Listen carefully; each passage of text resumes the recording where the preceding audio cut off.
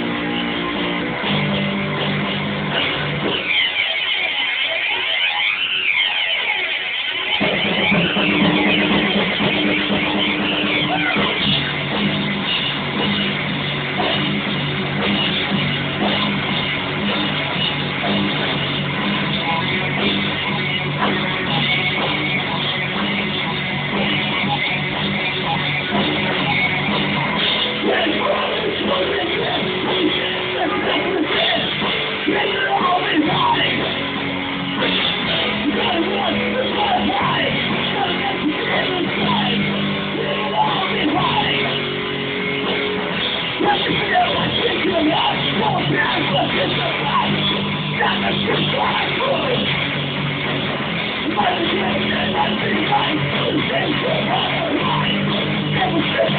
sorry.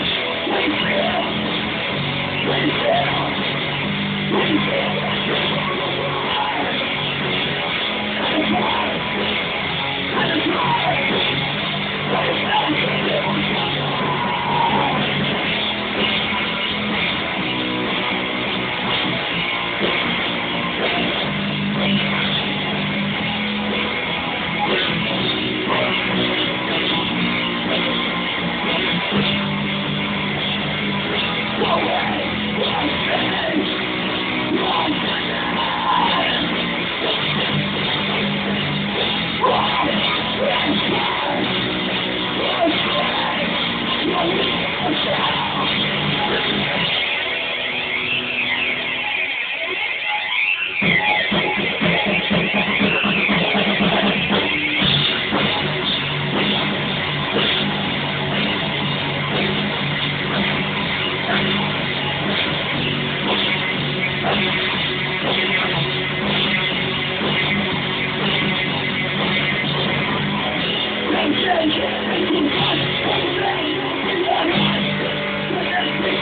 When